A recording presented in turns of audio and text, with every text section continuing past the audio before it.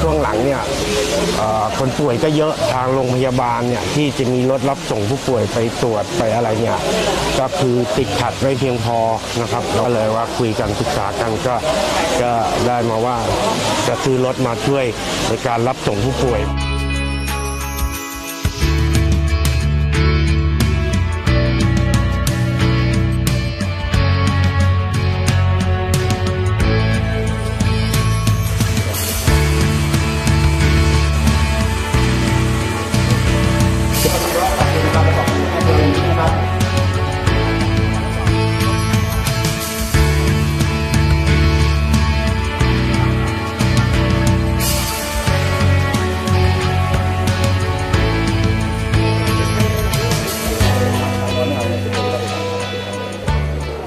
การซื้อรถมารับส่งผู้ป่วยโควิดเนี่ยเนื่องจากว่าทางเทศบาลเนี่ย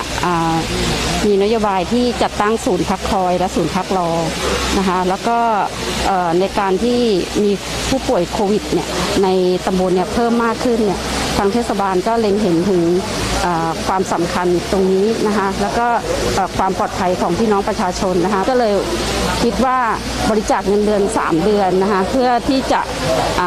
ไปซื้อรถมือสองนะคะแล้วก็ทำเบาะให้กับผู้ป่วยได้นั่งไปอย่างสะดวกนะคะหลังจากเสร็จภารกิจโควิดแล้วรถคันนี้เราจะดำเนินการยังไงต่อ ก็มอบมอบให้ทางเทศบาลครับ ใช้ส่งรับผู้ป่วย ในกรณีที่ผู้ป่วยยากไร้เนี่ยจะหมอนัดไปหาหมอนะครับ หรือมีอุบัติเหตุฉุกเฉินหรือว่าต้องการความช่วยเหลืออะไรเนี่ยติดต่อมาที่ทางเทศบาลก็จะ